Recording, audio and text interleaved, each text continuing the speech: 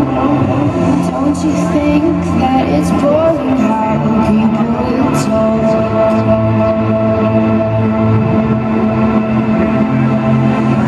Making with words again.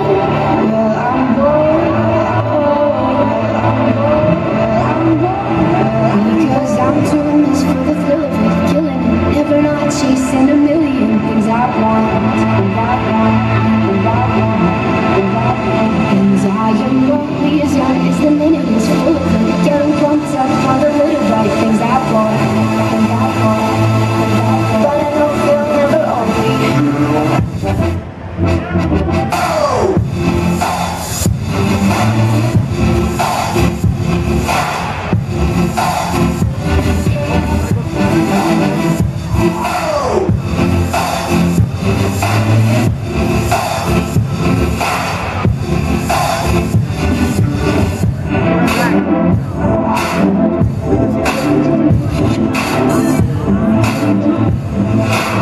It's all getting like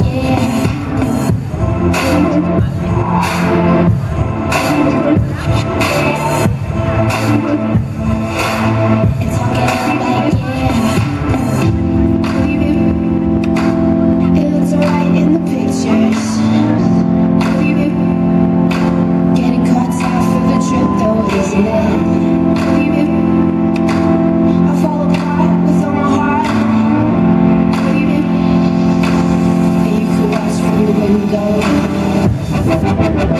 All right, thank you, Mark.